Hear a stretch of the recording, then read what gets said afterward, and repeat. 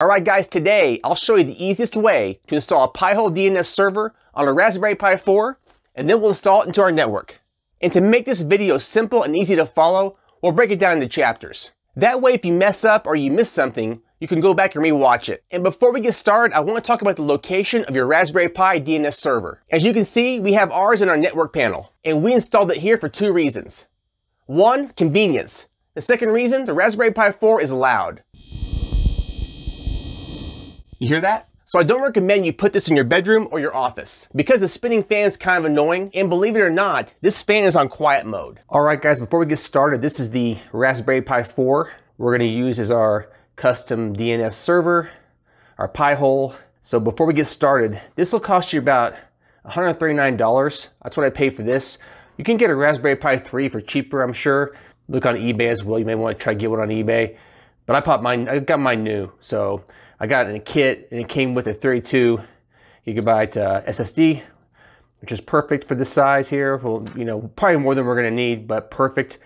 Uh, as far as setting this up, make sure your heat sinks are all set up on the chips and make sure your fan is plugged in. Just a little hint here, I plugged mine into the red uh, pin into uh, pin one and the black pin in, into pin 14. You could do pin two for the red one. Um, I do the pin one for the quiet mode. I like it, I don't want it to be loud or anything. So then you put the case on top like so, like that. There you go. And you see in the, over here all the ports.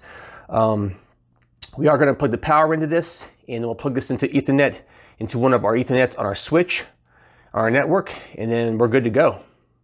Now we need to go to the computer and then go ahead and set up our SD card before we do anything else. So let's go to the computer first and get this all set up. Okay, for the first step, we need to download three different types of software. First is Diet Pi. Go to dietpi.com, go to download, and look for Raspberry Pi.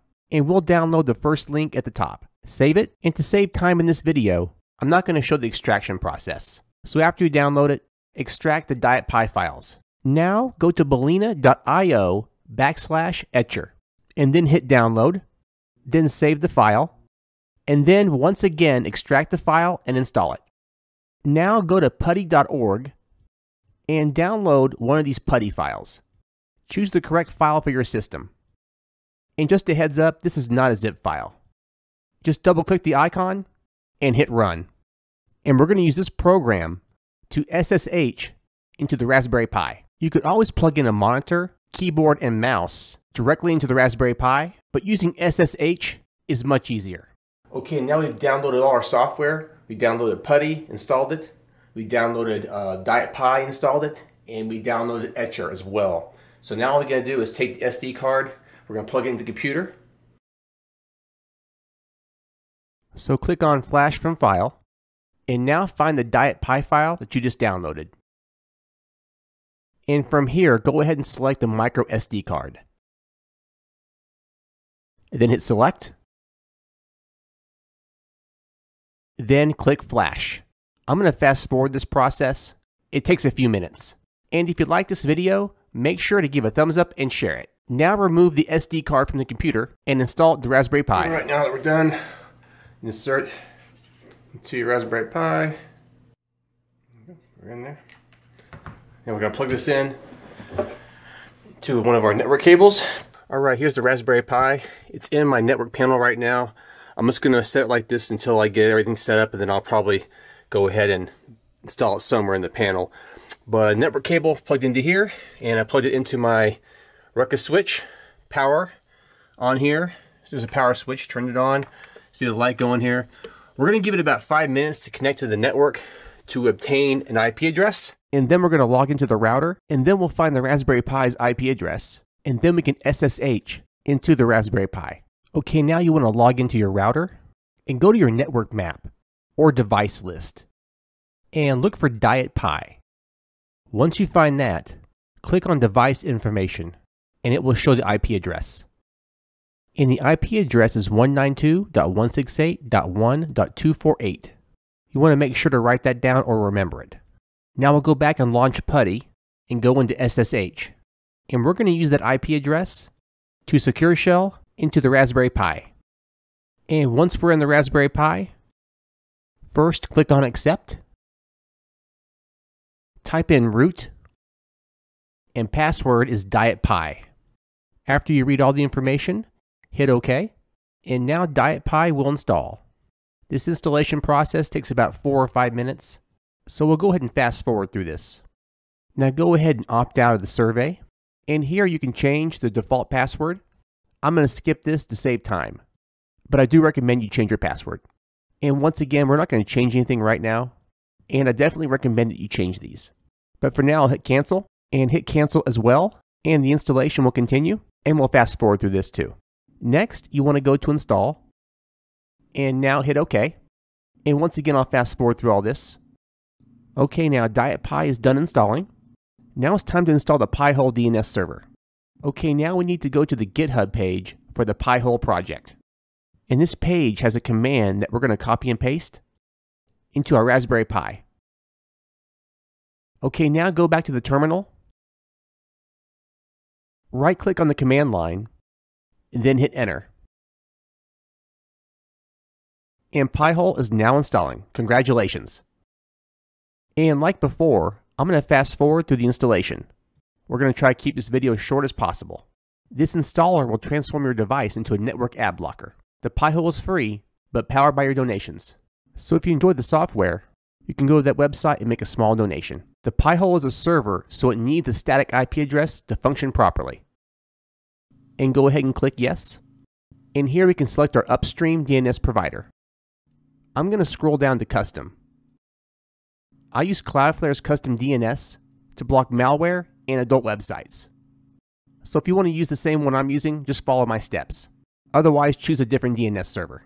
It's up to you. So now hit Custom, and we're going to type in 1.1.1.3, comma, space, 1.0.0.3 and then hit OK. And go ahead and hit yes to confirm. Pi-hole relies on third-party lists in order to block ads. Hit enter to use that list. Do you wish to install the web admin interface? Select yes. And hit enter again for recommended. And hit enter again. And hit enter again. And now Pi-hole is finishing up the installation. And once again, we'll fast forward through this. Configure your devices to use the Pi-hole as their DNS server using, and we have to create a static IP address for our Pi-hole DNS server. And make sure to write down the password for your admin page or take a picture with your camera. Hit OK. Now we have to configure the static IP address. So copy and paste dietpi-config, hit enter, and go down to number 7, Network Options Adapters. Now go to Ethernet, and at the top, make sure the mode is static.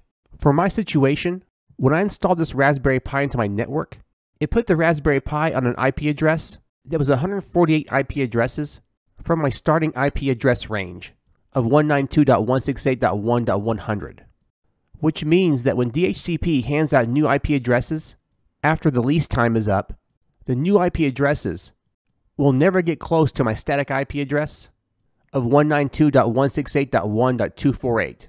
It's just too far away. We have around 50 devices in our network, so the last IP address to be used on the DHCP server would be 192.168.1.150. So make sure to use the same method when you create a static IP address. Now hit OK. Hit OK again. Go ahead and hit OK again. Hit OK again. Now exit the interface. Then log in back to your router and go to local network. We have to change the static DNS. This number has to be the static IP address of your Pi-hole server. So type that in and hit apply. Give the network a couple minutes. Now open your web browser and type in the IP address of your Pi-hole 192.168.1.248 and click on that link right below the apple. This takes you to the admin page. Now go to login and type in that password that we saved from earlier. Now it's time to add some block lists. Go to firebog.net and highlight and copy and paste any text in green and bulleted with a tick. These are least likely to interfere with browsing. So right click and copy it. Then go back to your Pi-hole and paste it into the address bar and then hit add. In order for the block list to work, you need to go to Online Update, right here. And click Update. Depending on the amount of text that you copy and pasted, this may take several minutes. And here we go, we're all done. And this is the Pi-hole dashboard. If for some reason your dashboard is blank and has no information, recheck your router settings. Make sure the router DNS matches your Pi-hole DNS IP address. If it doesn't match, this will not work. Now is the real test. Let's check a few popular websites and see if the ad blocking works. And as you can see, no ads. Typically, the ads will be at the top and the sides of the pages. And these websites have no ads. Fantastic. So I recommend at GitHub to copy and paste all the green links into your block lists. These links will block ads, tracking, and malicious websites. And remember, your Pi-hole is only as good as your block lists. And as you can see, we mounted our Raspberry Pi 4 into our network panel. And when mounting this Raspberry Pi, make sure the fan is pointing out. This allows for hot air to escape. And the Raspberry Pi does get kind of warm. And yes, the fan is kind of noisy. So don't put the Raspberry Pi in your bedroom or your office. So guys, if you found the video helpful, please give a thumbs up and share it. And please consider subscribing to our channel. And make sure to activate the bell icon so you're notified when we upload new content. Thanks again for watching. You guys are awesome. And we'll see you in the next video real soon. Peace. You need a home DNS server.